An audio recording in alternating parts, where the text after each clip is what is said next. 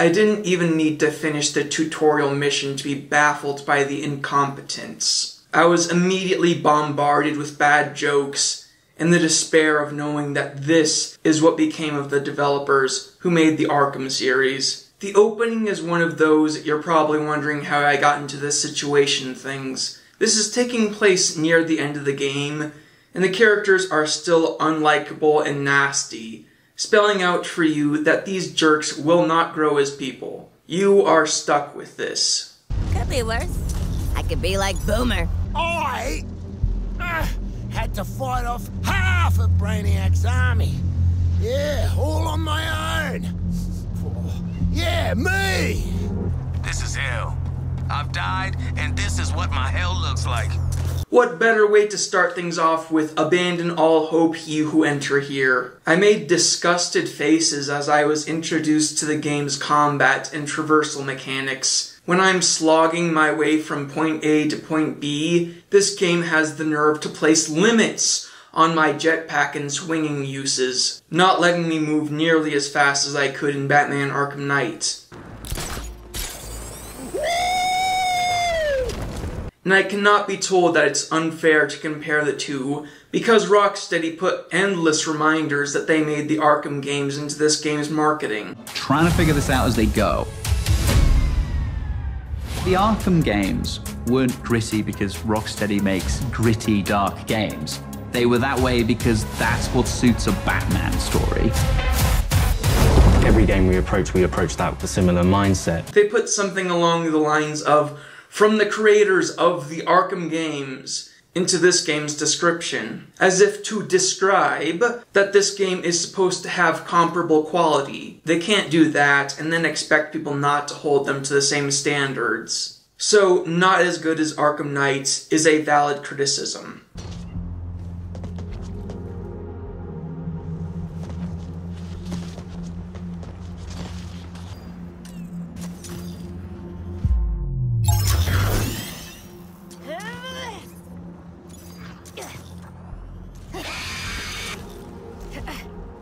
And the combat in Kill the Justice League is not any better than the traversal.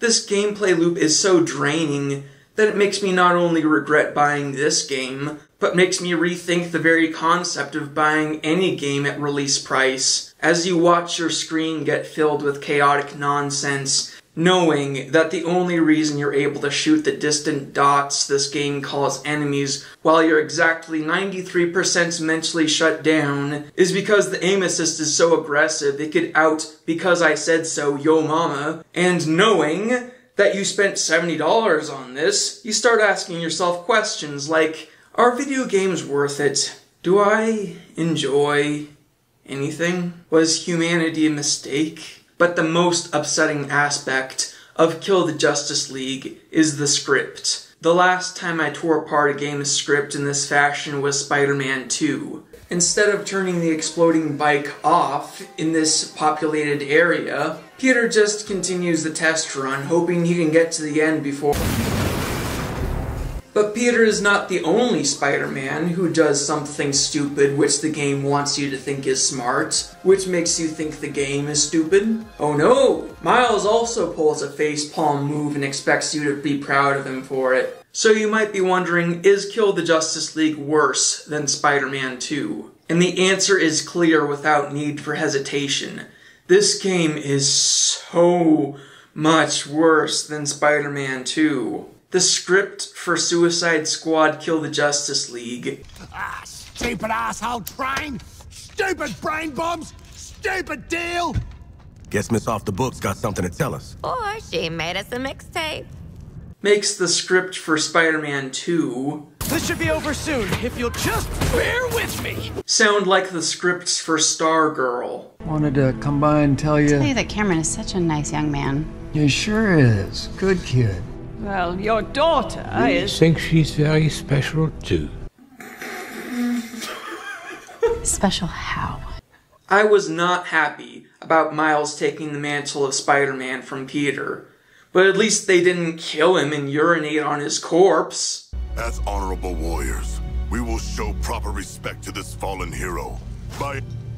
The way Suicide Squad killed the Justice League forces these deplorable dirtbags on us while butchering the characters that are usually beloved is insulting. They know you would rather play as the characters you're being forced to butcher and disrespect. They know they're ruining moments with worthless jokes. Loyalty to your team. Ah! Having a frickin' moment, you dummy! Tell the writers that. Before I describe the characters, it's important for you to understand that they do not all grow as characters in any meaningful way, apart from just randomly not hating each other later on. So their personalities are not set up for character development. Their personalities are what the game expects you to take. Meet the Suicide Squad, Deadshot, an assassin who fails to see that his incarceration was his own fault, instead choosing to bitterly hate and blame everyone else with no self-awareness, while expecting you to feel sorry for him because he doesn't like tight spaces. Harley Quinn, an obnoxious sexual assaulter with delusions of being funny. Captain Boomerang, a sniveling little maggot who makes Harley look tolerable by comparison, happy to throw innocent people into the meat grinder for personal gain, while demanding praise he knows he doesn't deserve. King Shark, the closest thing to acceptable, and even he's an unfunny bigot who devalues human life. Though all surface dwellers are duplicitous. After the opening tells you what kind of mess you're in, the game goes back seven days and they address Deadshot's race change by telling you to shut up about it. Isn't Deadshot supposed to be white? Aren't you supposed to be shutting your damn mouth? They get bombs put in their heads and told that their heads will blow up if anyone disobeys Amanda Waller's orders. That makes me very motivated to disobey her orders. They're sent into Metropolis, popping up in the Hall of Justice. Holograms of the characters you would much rather be playing as. Well, characters you would rather play as, and a version of Wonder Woman who didn't get the dress code, greet you only for the squad to say things like, you know, being a hero is dumb. They dedicated their lives to helping people, and I don't like that. Ugh. Typical hero crap. Big ass gold palace to show the world how super they are.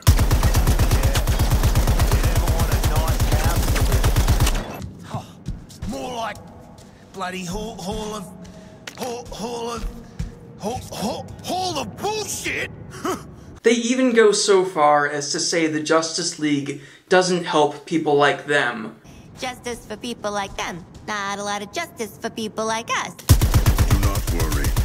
I will bring justice. Which is not true in the slightest. DC heroes have a long history of saving lives, even if those lives happen to be criminals. In fact, a sizable part of Batman Arkham City was about stopping the genocide of the prison population. And frankly, these dirtbags should be grateful that the heroes didn't kill them in battle. You'll never guess what they find in this public museum that kids would regularly visit. They find gadgets that had been used by heroes and villains. I repeat, the Justice League put easily stealable supervillain tech behind thin glass in a public museum attended by children. Truly, the idiocy knows no bounds. They should have just had Amanda give them the equipment before they went in. She has connections, it's not much of a stretch for her to get her hands on this equipment. They quickly find out that the Justice League has been brainwashed by Brainiac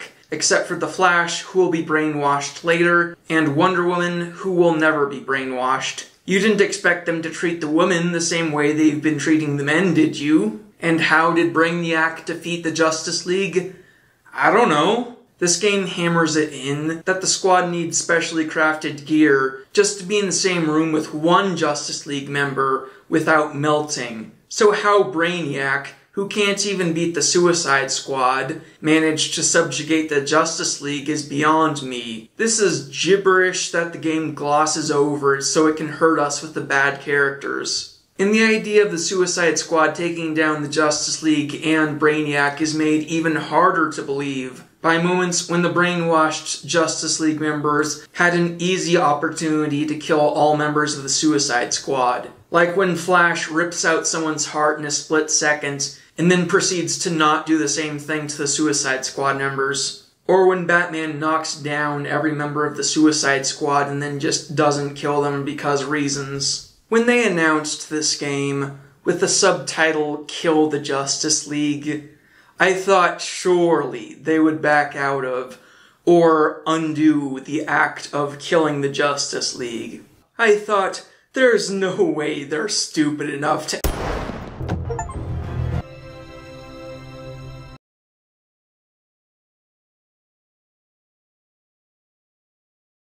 Game, sit down.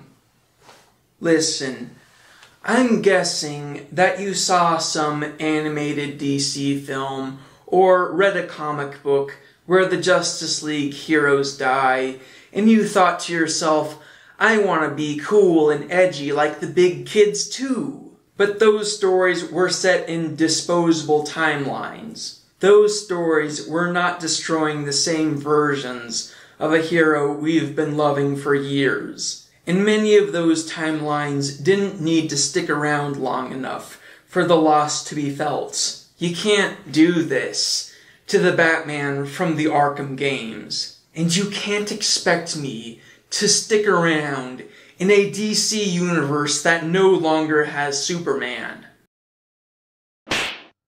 Did you think I would anticipate your next game for the sake of seeing your F-list characters like Gizmo and Hack? Let's talk about Brainiac's motivation. When I heard the Flash say he was trying to save the world with Brainiac, I thought maybe Brainiac was going to have a motivation that was interesting. Maybe something with some moral ambiguity that makes you wonder whose side you would really take. But then they revealed that Brainiac wants to kill all humans by terraforming the Earth to look like his home world. It was stupid when Zod did it in Man of Steel, and it's stupid here. At first, I thought there was no argument to be made for his motivation, but after suffering the squad and losing the league, I want Brainiac to destroy the Arkham world. I say this as someone who has played all four Arkham games countless times. I want Brainiac to destroy the population of the Arkham universe so that Rocksteady can't make any more games with them. These people deserve death. Brainiac is the real hero of this game. That being said, if this was a game where you play as the Justice League, who survived the whole game, I would think that Brainiac is a pathetic excuse for a main villain, with no depth, no personality, and not enough screen time to make an impact. But this is not a game where you play as an undying Justice League, so Brainiac is the hero we need. Looter shooters are known to be a gross cesspool of microtransaction filth. They said before the game released that microtransactions would just be for the cosmetics, which is accidentally a great way to ensure that no one will ever pay money for these microtransactions, because these cosmetics are pathetic. No one looks good. Some of the alternate costumes are just variations. Captain Boomerang is an eyesore no matter what you put him in. And Harley Quinn didn't get the dress code. I used the classic Harley costume because it's the only one halfway to decent. Don't worry, I did not pay extra for it. This was a pre-order bonus. And not only does Harley not get the dress code, she spits on the dress code. Yeah, right. You just hurt a lot of cosplayers' feelings. For some reason, someone working on this game thought that the costumes that women have loved to dress up in for years are objectifying. And we can't have Harley Quinn involved in objectification, can we? Saying I can't really makes me want to, you know? no! Hardly, no! Worth it. And do you remember Poison Ivy from the Arkham games? A character whose main appeal is how attractive she is. She came back as a child. I know all about plant toxins. we know. That's why they call you Poison Ivy. it's just Ivy. Weirdo. I don't know whether to call that censorship or pedophilia. Wasn't expecting you to come in fun size. Harley and Ivy forever. In 10 story burning letters. Don't you like kids? Oh, I just want to smush those little green cheeks. And not any little girl, my little girl. But if someone tries to touch you in a place or in a way that makes you feel uncomfortable, that's no good. Pedophilia. This is pedophilia. I had heard about Captain Boomerang putting a bomb into a child's head to enslave her. I put the bloody bomb in her head ages ago! What? What?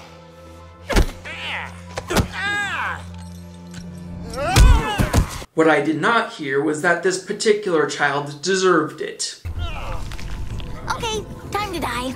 I'm tired of being around humans. What people should hate Captain Boomerang for is putting a bomb into Toy Man's head, when that boy's only crime was volunteering to help. Pow! Ha ha! Payback, you little shit. whoa. And no one gives him flack for doing it to Toy Man. You didn't expect them to stick up for a little boy the same way they stuck up for a little girl, did you? They figure out how to kill the Justice League members, while Wonder Woman tries to find a way to stop them non-fatally. King Shark even tells her, you shouldn't be trying to not kill your good friends. It should be in a sword, not a shield. Your friends are beyond saving. How many more lives will be lost while you try and fail? I do not need a lecture on morality from a shark. And just before Wonder Woman dies, she's the one who comes around to their way of thinking, not the other way around. It should have killed him. And the moral of the story is you should kill the innocent victims. Mamma mia, this is horrible! This game sides with criminals who vindictively take revenge on heroes just for doing the right thing. This game has you enslave and defile the innocent, portraying it as fun as long as it happens to a man. This game isn't just bad, this game is evil. The people who made this game are evil. Well, not all of them, just the ones who made the big decisions. I couldn't force myself to finish this game. After the boss fight with the generic smoke monster, I mean, Batman, one of the game's NPCs told me to just go do other stuff until he decides it's time for me to progress the story. See if you can improve your arms and armor. This NPC wants to dictate to me when I progress the story? No. I decide that I will never progress the story. I've hated every minute of this game, and I would rather die than kill Superman. I love this world. My friends. And yes, even Batman. I deleted the game and did what I should have done in the first place, instead of playing this game at all. I watched a compilation of the cutscenes, and there is no part where we find out the real Justice League is still alive, or have someone wake up and call this all a bad dream, or anything that would even begin to salvage this situation. They just kill the real heroes of the story and tell you that there's 12 other Brainiacs in the multiverse that they expect you to fight in later updates. You know, if I wasn't rooting for Brainiac, I would say that it's moronic to present us with such a hollow villain, so empty his boss fight is a copy of a previous boss fight, and then try to sell the idea of fighting 12 more copies of that hollow villain. In my video about Spider-Man 2, I gave some advice on how to do better. Really, I knew that the developers wouldn't follow my advice. It was more advice for aspiring writers out there. With Suicide Squad Kill the Justice League, The best way to give advice is to say everything in this game is an example of what not to do. That and stop killing our heroes. Unlike Spider-Man 2, the gameplay is almost as bad as the story. It's not like I would want another game like this with slight changes made. So what's the point of giving advice on how to do something similar in a better fashion? Do yourself a favor and don't make the same mistake I made. Do not buy Suicide Squad Kill the Justice League. There are better games for you to play, and if you need recommendations, I've got you. For this list, I'm aiming for lesser known, underrated, or forgotten games that you might not have played before. If you're an Arkham fan who wants more melee combats, I think you'll like Midnight Fight Express. It takes some inspiration from the Arkham games combat, but it's a more lethal version of it. A game that I played a long time ago that was somewhat similar to the Arkham games combat was Stories, The Path of Destinies. It's set in this kind of cartoony anthropomorphic world, and you keep making different decisions that lead to different paths, and then something goes wrong, so you're sent back to the beginning, and you might know something that you didn't know before that leads to more paths opening up for you. Evil West is a pretty good action game. It's not very much like Arkham, it's more like the more recent God of War games. I thought it was a ton of fun. Soulstice is another really good, underrated action game. This one's more akin to Devil May Cry and Bayonetta. Unlike Evil West, I would recommend it for more than just the combat and the visuals. The story of Evil West is kind of lacking, honestly, but the story of Soulstice is a lot better, in my opinion. If you're looking for a game that has better shooting than Suicide Squad Kill the Justice League, here are some shooter recommendations. Call of Juarez Gunslinger is a shooter set in the Old West. It's kind of historically accurate, but you kind of need to suspend disbelief. It's like exaggerated, historically accurate, if that makes sense. I know there's two Western games on this list, technically, even though I'm not the biggest fan of Westerns, but I can make exceptions here and there. It's, it's like there's some elements of Westerns that I don't like, but they're ignored in some video games, if that makes sense. A game that bombed really hard was Immortals of Aveum, where you use magic instead of guns. People wrote it off because of the dialogue, which, yeah, it can get pretty bad at times. It gets not as bad later on, in my opinion. The story starts out really bad, and then it gets better with a few hiccups here and there. But the gameplay is good pretty much the whole way through. If you've already made the mistake of playing Suicide Squad Kill the Justice League like I did, you might be looking for something happier to get you out of that pit of despair. Bayonetta Origins is such a delightful game. Obviously, it's a prequel to Bayonetta, but it's mm, it's fun in a different way. The illustration inspired visual style is so appealing, and the way it's written is so cute. WALL-E the video game is not as bad as it could have been. There's a few moments of hilarity here and there. Really recaptures the WALL-E personality really well.